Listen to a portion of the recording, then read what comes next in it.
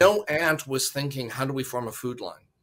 No. The queen ant doesn't design this. She just forms, uh, she just fulfills a, um, because that's the question I get. Well, doesn't the queen ant organize this? No, she just uh, fulfills a reproductive function. It's all bottom up. The ants are just paying attention to the local pheromones and the physical sense of the sugar cube. And mm. that creates the food line, something yeah. from nothing.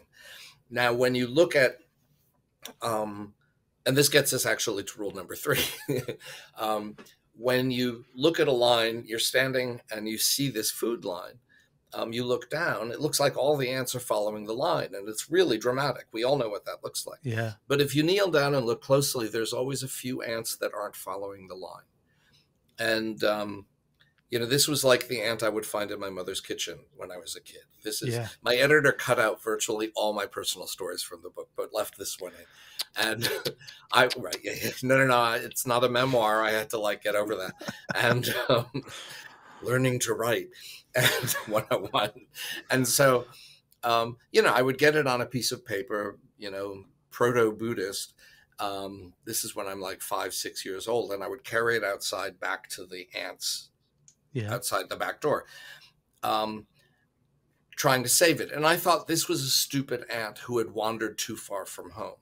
Hmm. My mom knew exactly what this was. This was the random ant that wasn't following the food line and so would likely find the food source in her kitchen, lay down the scent trail, and begin the home invasion.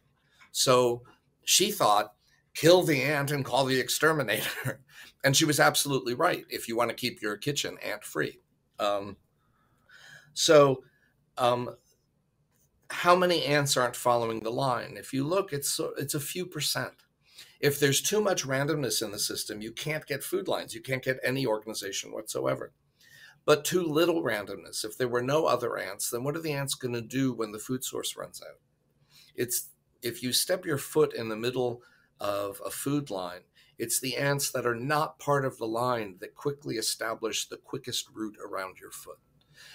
When the food source runs out, it's these random ants, divergent ants, small numbers of them, that are likely already finding the next food source.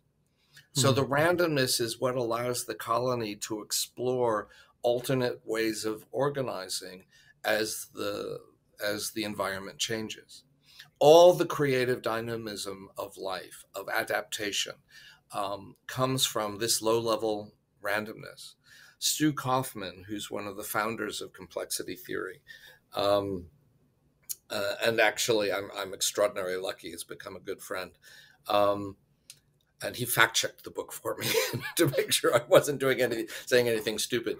Um, he uh, refers to the possibilities that arise from this randomness in the current moment um, as the um, adjacent possibles.